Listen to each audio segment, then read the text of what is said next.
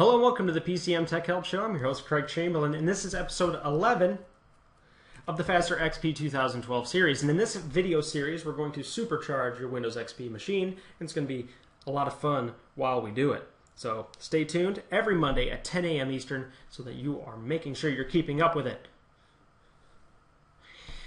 So let's go ahead and move on to the actual point of the video, which is to make sure that we uninstall all your unused Windows XP programs. I am amazed at how many people forget to do this. Imagine imagine having like a room, right? Like a bedroom, which some of you might have, some of you might not, and never ever ever cleaning it.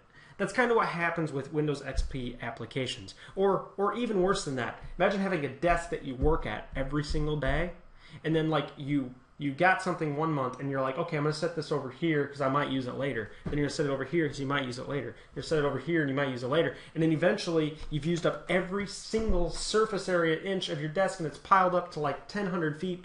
And then eventually it's just so cluttered you can't even, you know, can't get any work done, right? Because it's slower to work around a lot of junk.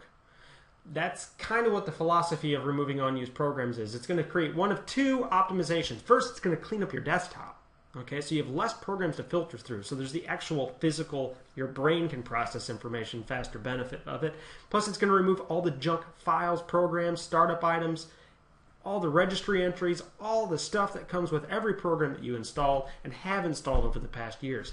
Now, another thing that this is a benefit of, actually, there's three I lied, is it removes the bloatware. When you buy a brand new laptop or a brand new desktop, you know what happens? They come packaged with all of this junk in it. And we're talking junk. We're talking stuff that's literally designed to slow down your system and then like make you pay to make it faster.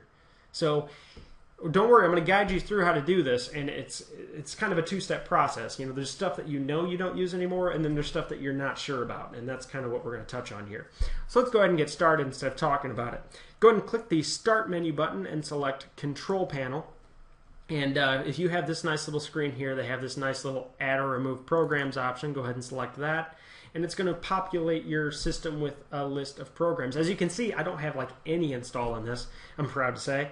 And uh, But you might have like a 100,000 of them. You know what I mean?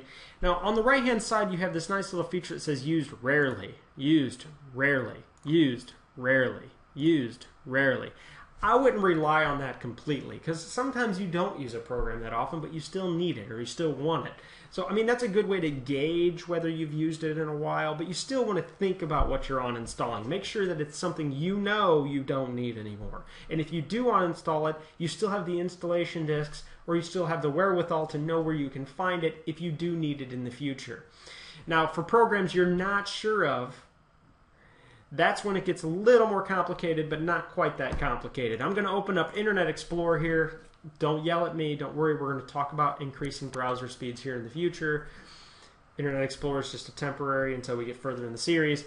And we're going to go to Google because us nerds, we love Google. It's our secret weapon. Okay? The not so secret secret weapon. Okay, and what we're going to do is let's say I bring up a program here and I can go to Glary Utilities, okay? I'm going to type in should I uninstall Glary Utilities. We're going to see what search result we get. Glary Utilities. Okay, well, you might not get a whole lot of information on what exactly, uh, whether or not you should or whether it's harmful or something. Sometimes you will, but you can at least see what it is that program does. So I'm going to open up Glary Utilities, okay? And I'll Glary Utilities, 100% freeware. Glary Utilities number one free, powerful, all-in-one utility. The world the market offers numerous powerful and easy-to-use system tools and utilities to fix. Okay, well, you know what? That seems like a legitimate piece of software that I installed at some point in time. And then I can even open it up. I can click the Start menu, Start button. I'll go to Glary Utilities, open it up, take a look at it. I mean, we're evaluating the benefit. This might take you a while, but you don't want to remove something you don't want or need. And uh, a lot of times with bloatware, it's going to be when you when you Google it, it's going to be obvious. People are like, you don't need this. This is junk. This is absolute junk, and then you can just uninstall it. So once you've established whether you should uninstall it or not, then that the whole rest of the process is easy. The hard part is deciding whether or not. You just click remove, and then it's going to open up the uninstaller. It's going to walk through the on installation, and then you're done. That's it. That's how it works. So that's all there is to this video. Uh, like I said, the, the part with uninstalling is it's not just going to improve your system speed on as far as load times and disk access. It's going to improve your actual psychological speed. Like we human beings can only process information at there's a psychological aspect to computing. We can only process information in so many ways. All right. So you want to clean your desktop. You want to do. You want to make sure you clean out your your unused programs, which will clean out your start menu, and you're going to be able to use your computer a lot easier, just like when you have a clean desk.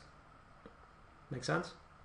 So that's all there is to this video in the Faster XP 2012 series, which again debuts every Monday at 10 a.m. Eastern. Don't forget you can become a PCM techie at the PCM Tech Help community. It's at my website, pcmtechhelp.com. And you can also follow me on Facebook, follow me on Twitter, follow our Facebook page, subscribe on YouTube. I'm to get this down eventually. Uh, invest on Empire Avenue. Circle me on Google Plus. There's got to be like 90 more. Oh, Klout Me on Klout. Ha, I remember that one. Uh, that's all there's to this video. Thanks for stopping by. Have a good day.